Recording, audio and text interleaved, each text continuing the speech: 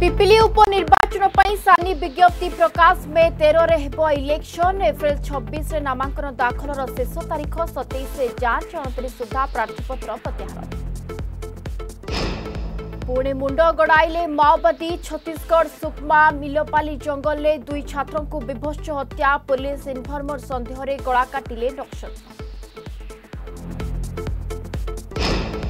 देश में बेकाबू कोरोना 24 घंटे रे दुई लक्ष पचस्तरी हजार तीन शौ छ आक्रांत चिन्हट महाराष्ट्र अड़सठी हजार छः एक पजिट मे एक सका सतटा जाए कर्फ्यू मुंबई में एगारश अठाशी कोठासिल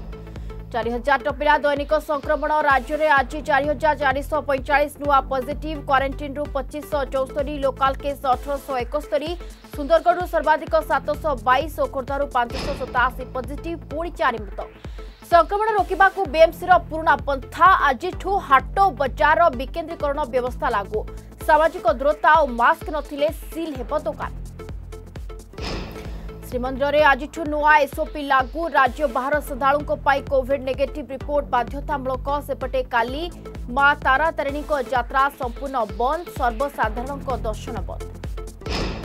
ଆନ୍ତଃରାଜ୍ୟ ବସ୍ ଚଳାଚଳ ଉପରେ ଆଜିଠୁ କଟକଣା ବାହାର ରାଜ୍ୟରୁ ଓଡ଼ିଶାକୁ ଏବଂ ଓଡ଼ିଶାରୁ ବାହାର ରାଜ୍ୟକୁ ଯାଇପାରିବ ନାହିଁ ବସ୍ ପଡ଼ୋଶୀ ରାଜ୍ୟରେ ସଂକ୍ରମଣ ବୃଦ୍ଧିକୁ ଦେଖି ରାଜ୍ୟ ସରକାରଙ୍କ ନିଷ୍ପତ୍ତି